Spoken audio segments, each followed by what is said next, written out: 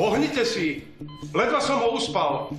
Neviem, dokedy mi vydrží. No, Jiminko, nestresujme. Robíme, čo sa dá. Revidujem vodnú ránu. Boh vie, koľko toho do seba šľahol. Veľa.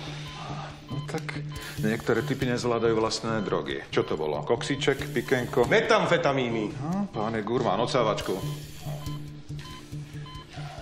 Odsávam. Snáď sa na mne začne budiť.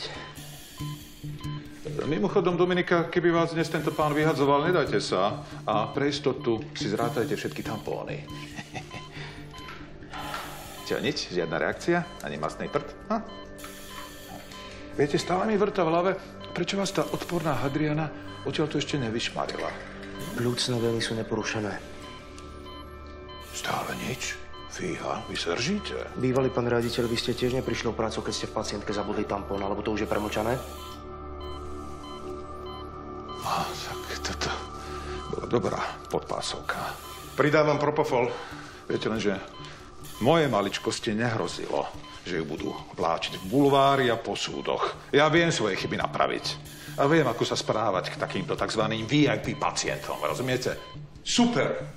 Tak venujme sa prosím teraz tomuto VIP pacientovi. Jimmy, ticho.